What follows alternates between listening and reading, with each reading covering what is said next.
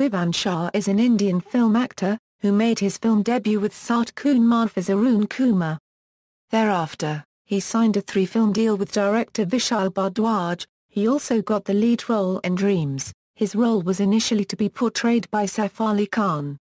In 2014, he bagged in Farah Khan's film Happy New Year. Personal life Shah is the younger son of actors Naseeruddin Shah and Ratna Pathak Shah. Filmography, references.